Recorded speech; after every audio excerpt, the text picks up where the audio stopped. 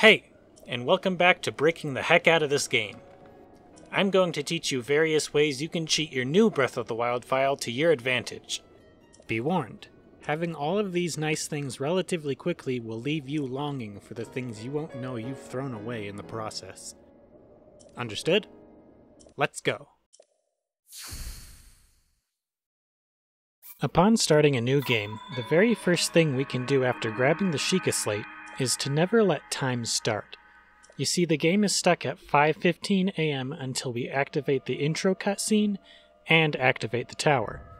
If we skip the intro cutscene, like most speedrunners do, it'll stay that way. I'd show you the fast way to clip out of bounds and skip it, but that's precise. Here's what to do. Grab the Sheikah Slate and press the right stick to open the scope for the first time, just to get rid of the animation for the first time use. Go into the next room and push two of the boxes into this corner. One on top of the other, and the top one against the shrine wall. Get on top of the box and stand between it and the wall.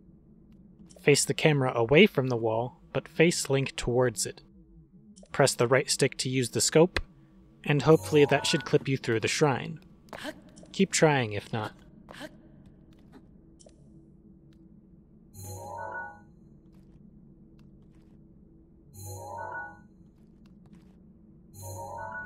Once you've succeeded, save while you're down here, because we're not done clipping through things yet.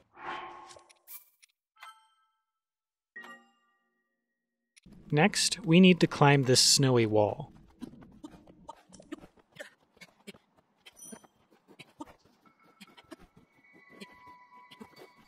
Once you're near the surface, crouch down, wedge yourself up as high as you can into the spot, and then stand up.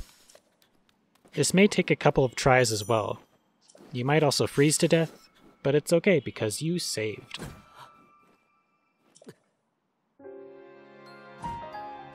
Once done, just avoid the entrance to the Shrine of Resurrection, or else you'll activate the cutscene.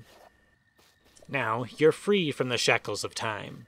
You can't be bothered by those fickle night enemies or blood moons. Except for glitched blood moons, those might still happen. The only real issue with stopping time is that some quests become unavailable. But you can always go back to the Shrine of Resurrection and activate the cutscene, to let time start moving if said quests become important to you. Before we can move on to the next thing, continue finishing the Great Plateau as normal.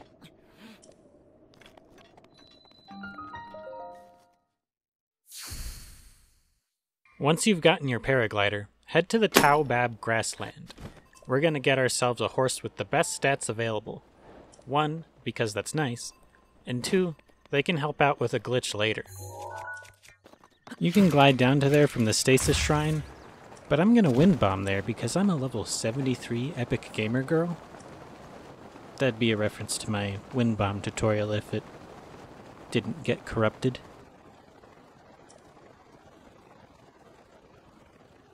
Once there, the spot we're looking for is where the giant horse spawns. And as great as the giant horse is, they're not what we want. We're interested in the smaller horses around it. This horse spawn area is one of two spots that can contain horses with the best stats available. These three stat presets respectively. You won't be able to tame these two without some stamina foods at the moment, but luckily the 5 speed horse only requires one wheel of stamina to tame, if you can soothe it fast enough. Here's how you can guarantee catching one. Climb this hill and save your game. Reload the save and use your scope to look at the pack of horses. They always spawn in this arrangement, and each individual one almost always has the same stats preset. This horse in particular is most often the 5 speed horse, so let's aim for it. Glide down onto the horse we're aiming for. Upon landing on it, spam L to soothe it as fast as you can. If you could tame it with your one wheel of stamina, it only has three spurs, and it's heckin' fast, you got it. If not, just reload and try again. Once you got it, follow the path all the way to the Highland stable where we can register it.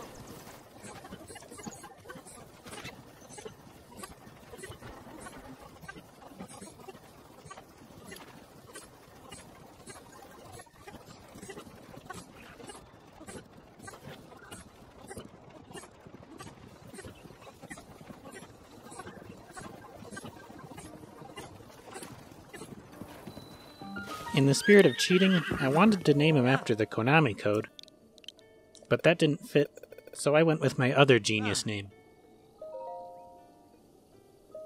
Also, if you've got the DLC, might as well go grab the Ancient Saddle too while we're nearby.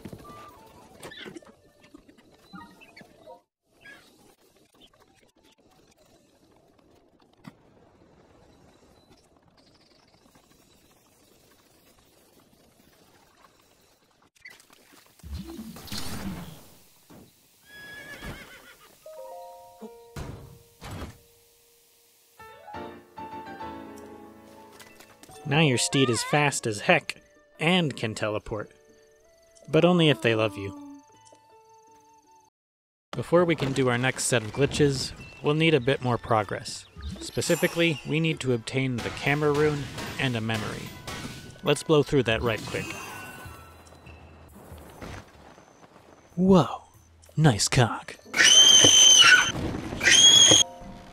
Anyway, back to progression. Seek out Impa, talk to her, pledge your life, skip that cutscene shit, activate the shrine before leaving, go to Hateno, activate the shrine, light this furnace, Purah's surprised, get camera, go back to Impa, show her the camera, memory spots ready to be remembered, fast travel to Magnesis Shrine, glide down to the spot, get memory. Good. Now we're all caught up with where we need to be. Now I'm going to show you how to get the Master Sword early. We could use the apparatus glitch and get at least 13 hearts and then go grab the Master Sword, but I want to show you another fun way that requires no hearts. Ride your horse all the way into Korok Forest.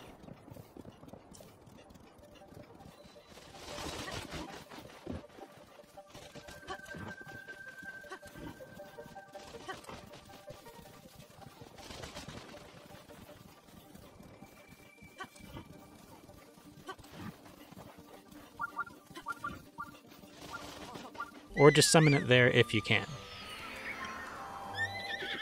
Activate the shrine there just in case. Get on your horse, position it relatively near the Master Sword, and then save. Just to be safe, reload that save to make sure Link is on the horse upon reloading. Sometimes that's not the case, and it is required for Link to be on the horse when that save is reloaded under normal circumstances. We're going to reload the save under not normal circumstances, so this might be confusing later. Just know, we loaded the save normally, and Link is still on his horse, so we're good. Fast travel to the Hateno Shrine, Myahm Agana. Equip your camera rune and a shield.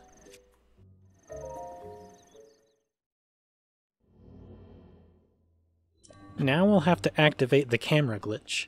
To do so, hold ZL press L, and then immediately press left stick and X at the same time.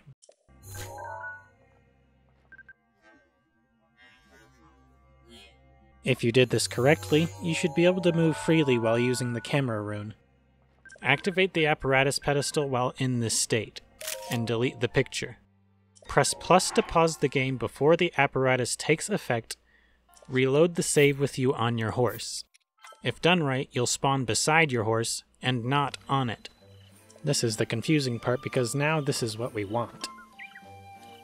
Stay off your horse and fast travel to a faraway location, say Myahm Agana again.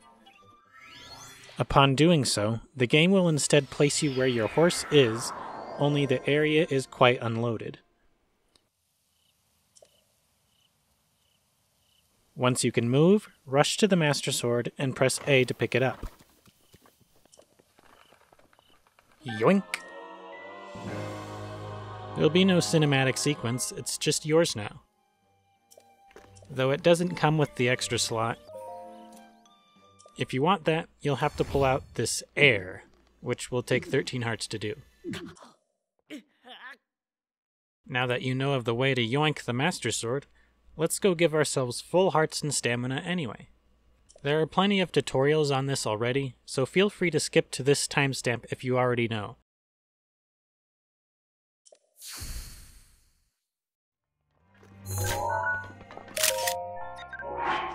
One neat quirk about watching a memory during the apparatus glitch, unpausing, and waiting at least two seconds, is that the current state of hearts and stamina when activated get transferred to the save you load.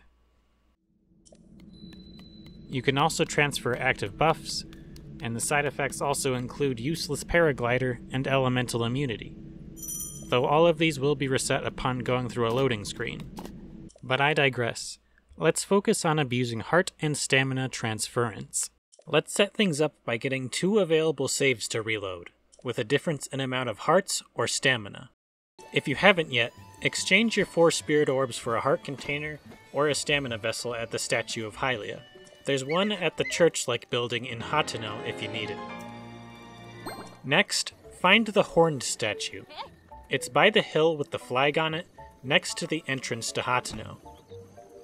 Go through with its short quest where it takes an essence from you, talk to it again, and get your essence back. Then, save your game. Equip your camera rune and a shield, and head into Myahm Agana Shrine, activating an autosave. Reload your save at the Horned Statue. Sell all of your essence to it.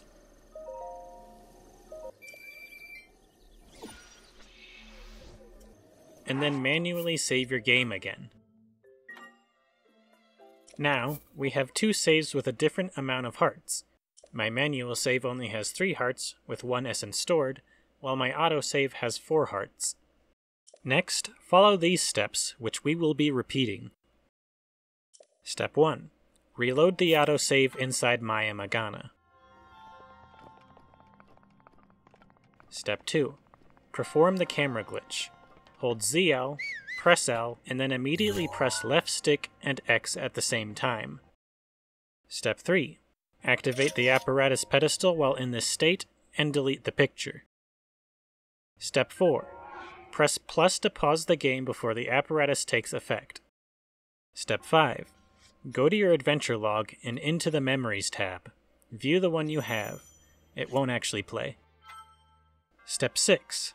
Unpause and wait at least 2 seconds. Step 7. Pause again and reload your manual save at the statue.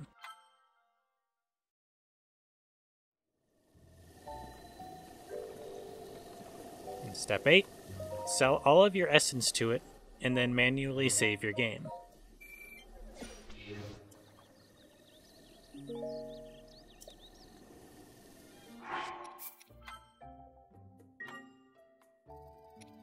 Now, we should have two essence stored in the statue. We have a net gain. Let's do it again. Reload the autosave inside Myahm Agana, perform the camera glitch, activate the apparatus pedestal, immediately pause the game, view your memory, unpause and wait at least two seconds, reload your manual save at the statue, and sell all of your essence to it, and then manually save your game.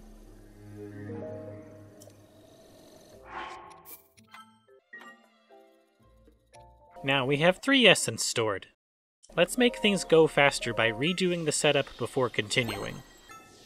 Buy back all the essence that you can, and then get a new autosave inside Myahm Agana Shrine.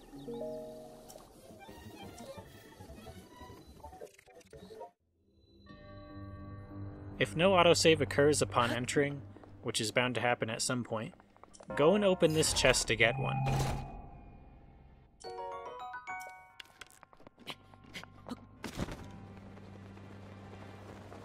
Then, we go back to our steps. Reload the autosave inside Myahm Agana, we are already there, so no need. Perform the camera glitch, activate the apparatus pedestal, immediately pause the game, view your memory, unpause and wait at least two seconds, reload your manual save at the statue, and then sell all of your essence to it, and then manually save your game.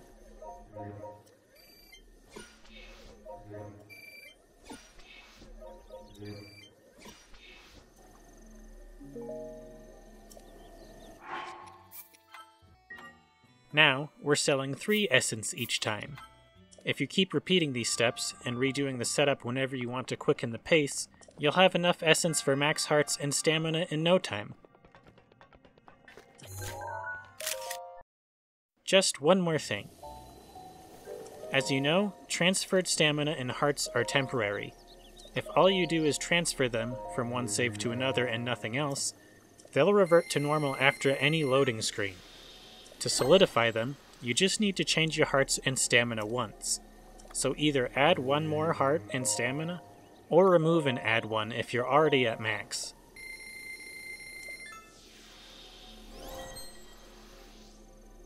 Then, they'll be permanent on your save file. Fantastic! You can now have up to max hearts and stamina with only 4 shrines completed. That won't take away motivation to keep playing the game. Now that we can, we might as well go get that extra slot for the Master Sword.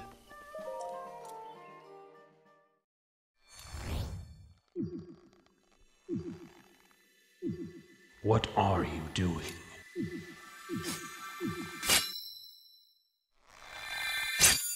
You already have the sword. Link, stop it. This is weird.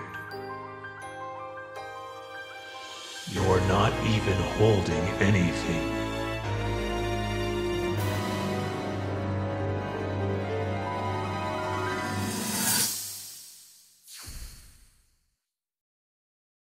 If you have the DLC, you might want the fully upgraded Master Sword that the Trial of the Sword offers. You might not actually want to complete the Trial of the Sword, though, so let's skip that as much as we can. I'm beginning to think that losing your memory isn't your only problem. Here's the plan. From the first floor of every trial, beginning, middle, and final, we are going to clip out and head to the final floor of the beginning trial. Defeat the Hinox there with this metal box, which will then bring us to the Master Sword room.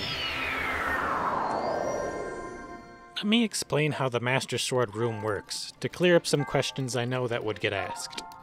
There is only ever one Master Sword present in this room. There's no point to flying up to the higher platforms.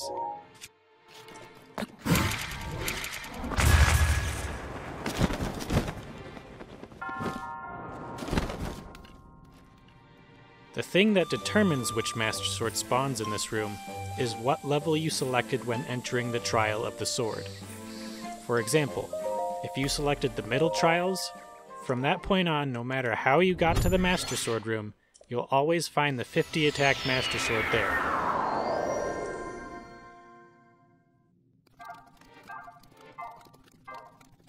That's why we're always going to head to the final room of the beginning trials to get there, as it's the easiest to complete.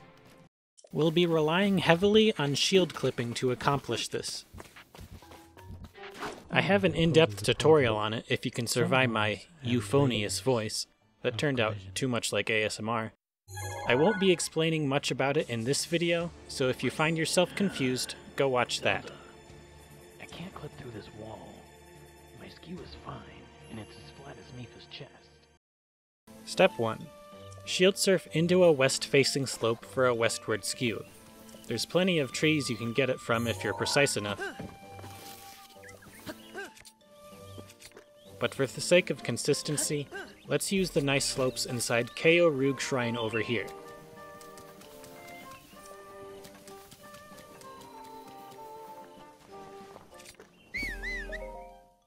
They're just beyond the gate. The code is 5312 to open it.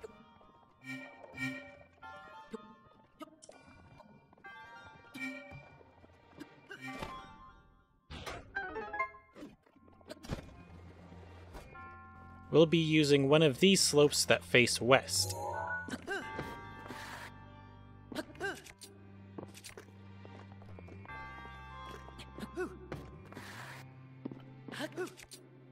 Once you have your skew, enter the beginning trials.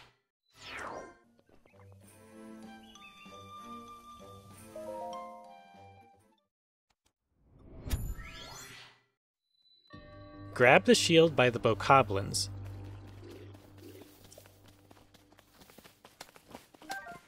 And shield surf into this west facing wall, and then take your shield off immediately. After clipping through, head to B12, floor 12 of the beginning trials, the room surrounded by the water with the sleeping Hinox.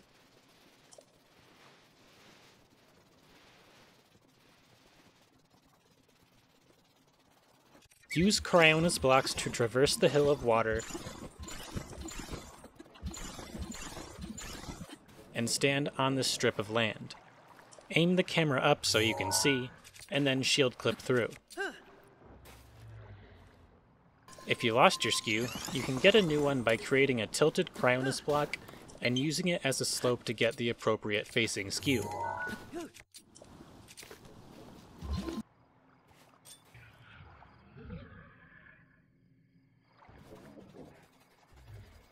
Grab this metal box in the corner.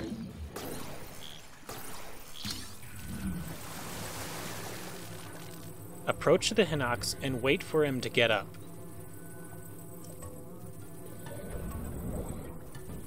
Proceed to violate the Hague Conventions.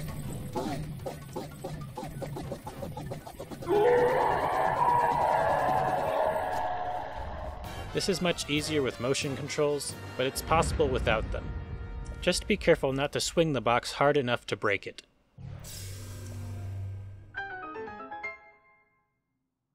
Enter the next room and grab your 40 damage Master Sword.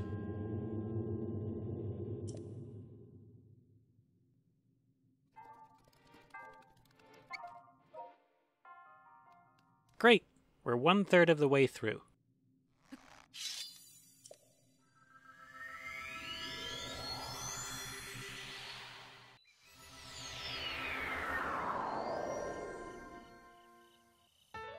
Now we have the middle trials available to us. We're going to do essentially the same thing, just with different scenery. Get a southward skew and head into the middle trials. Oh,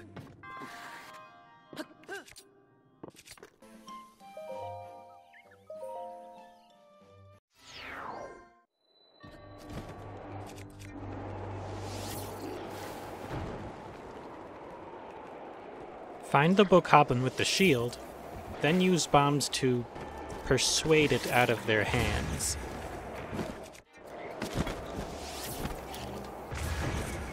Take the shield, then shield clip out through this south facing wall.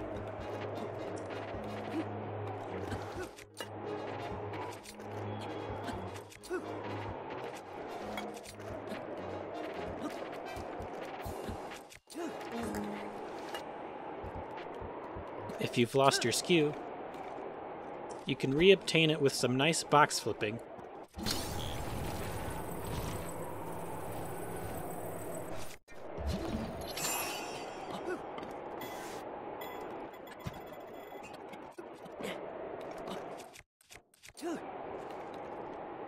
Or, if you have enough hearts, you can clip out the east-facing wall with this alternative method.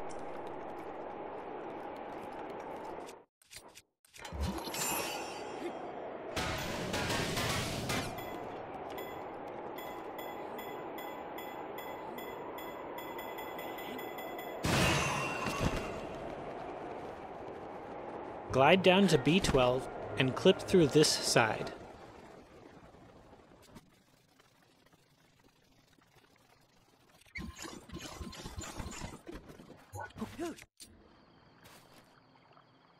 Whack the Hinox and get your tasty 50 damage Master Sword.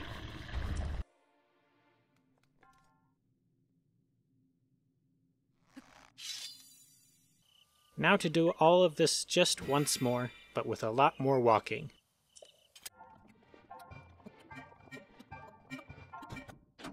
Set another southward skew, unless you still have the previous one, and go into the final trials.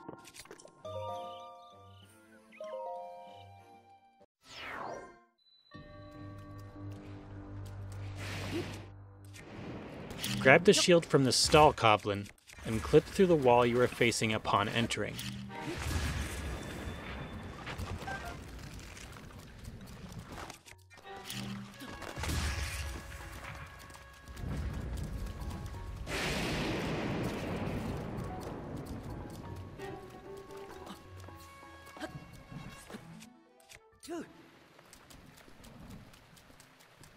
Take this route all the way to B12 and then clip through the southern wall again.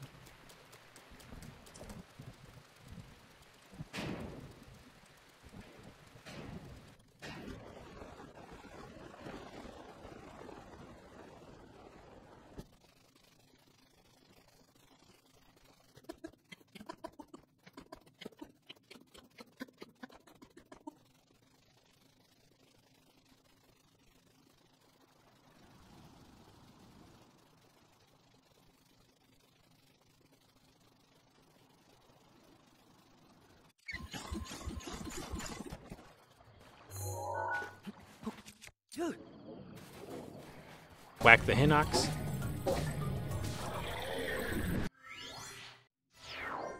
And grab your fully upgraded Master Sword.